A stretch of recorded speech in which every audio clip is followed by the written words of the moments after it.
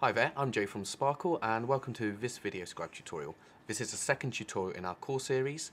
Today I'll be showing you how to use the camera and zoom functions, importing your own images into VideoScribe, and also adjusting the timings to really fine tune your scribe files.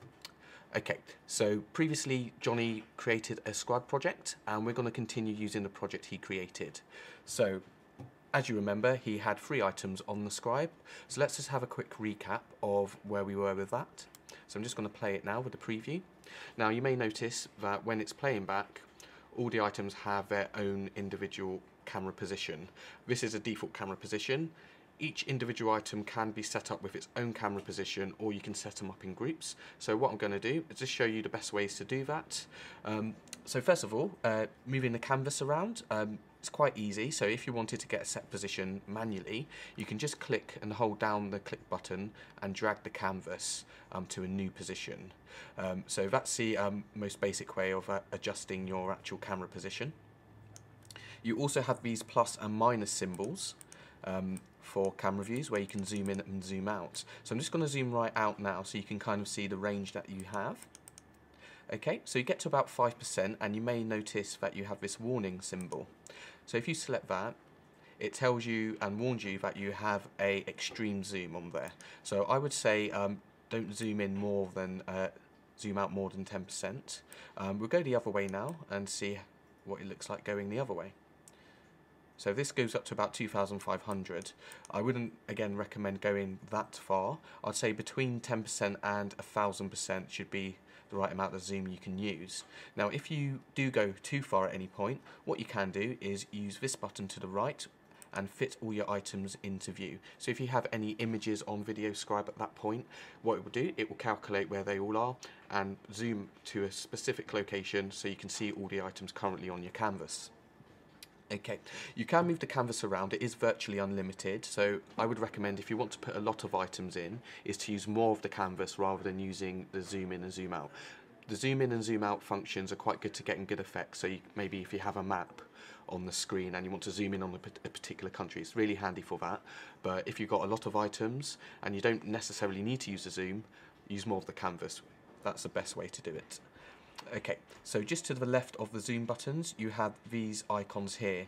This is where you can move the canvas in straight lines if you don't want to, use, to do it manually. So you can go up, down, um, left and right, um, press and hold it or keep clicking repeatedly and um, that will allow you to move it in straight lines. If you're creating scenes on the canvas, so you've got um, scene one in one position, scene two in another, and you want it to um, go from one scene to the other very smoothly, they're really ideal when using in using VideoScribe. So you can do it manually, but you might find that it's a bit off-center and you might get a slight drift when it goes from one scene to the other. So they're quite handy. So what we're going to do now is set the camera position. So I've used the fit all option, um, this button again, if I just remind you of it there. And I'm quite happy with this particular camera position. So I'm going to set the items with this camera position. So like I said, you can do it individually if you select an item in the timeline and then you will see on the right hand side you have these new icons activated. So if I select the camera icon, that is the camera position and now the camera position is set on the lady. If I wanted to cancel that, I can just use this icon now which is now activated which is a camera with the X on it. If I wanted to select more than one item with the same camera view, I can. If I press and hold down control while I have one item selected and then click on a next item, I can then set the camera position. So now two items have the same camera position, or if I have a lot of items on there and I want every single item on my canvas to have the same camera position, I can hold down control and press A, and that will select all the items on the canvas, and then I can set the camera. So let's have a look at that um, with the new camera position set and see how it looks compared to the first playback. Okay, so now you can see that the camera is in a fixed position, the first item's been drawn, the camera doesn't move, and then the other items are drawn. Okay. Okay then, so the next thing I'd like to show you is how to import images into VideoScribe. So um, you can import um, JPEGs and PNG images in. Um, we also recommend using SVG images. So we're going to um, do that with an SVG image. So first of all, what I would like to do is I'd like to go to a new part of the canvas. Um, so this is my first scene. I'm going to create a second scene and import the image into that new scene. So I'm going to use the up arrow here so I can keep the lines nice and straight.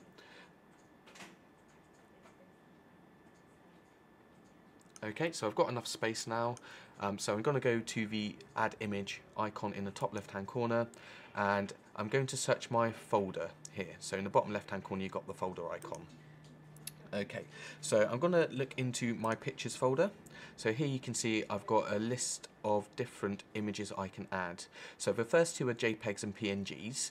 Um, the reason why we recommend SVG images is because you can actually dictate how VideoScribe draws the image.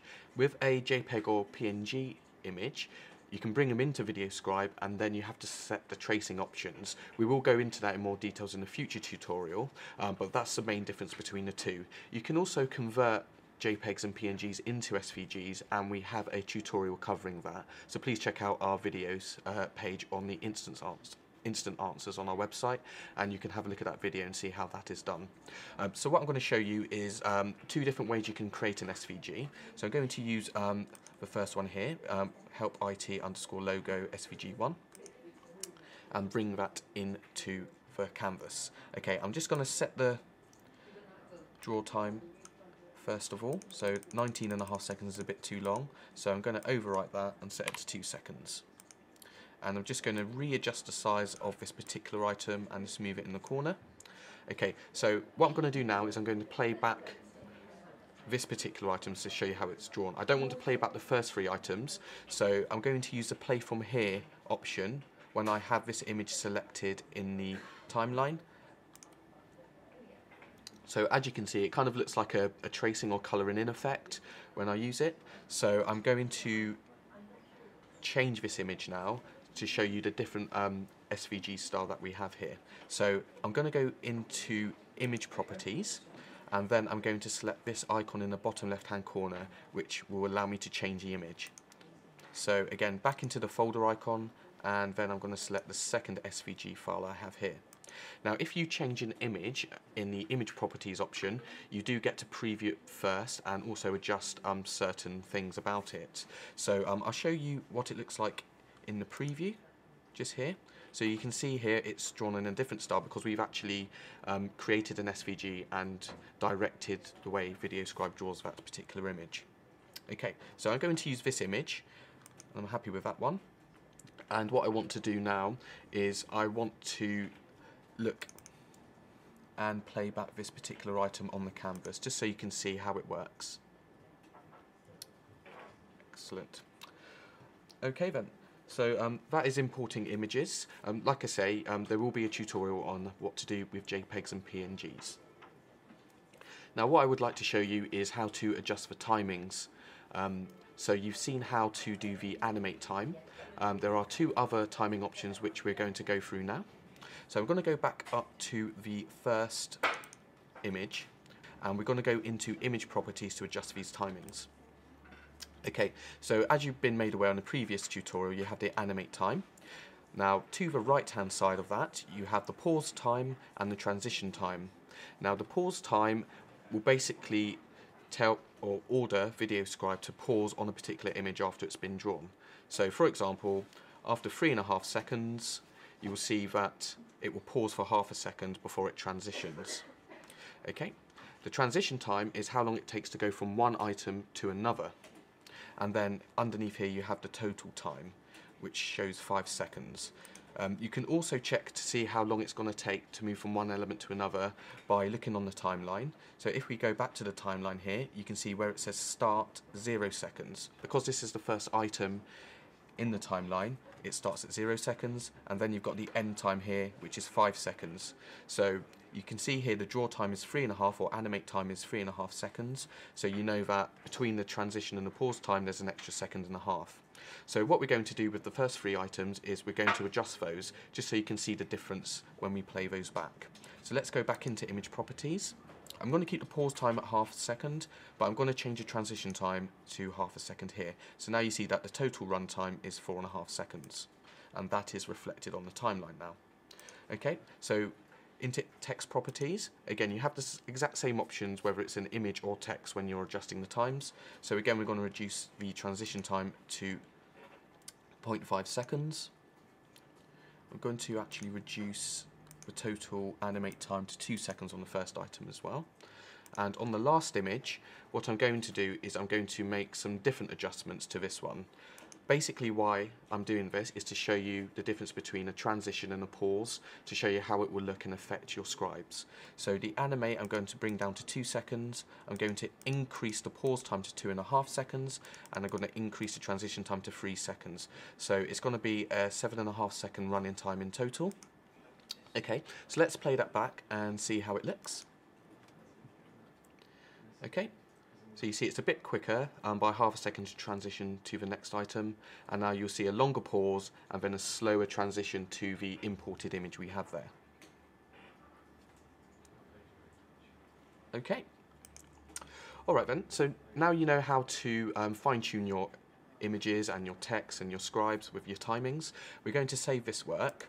What I'd like to show you now is how to adjust your default settings. So you may find that in your scribes that you want to actually have a set amount of time to animate, you want a set amount of time to transition and a set amount of time to pause.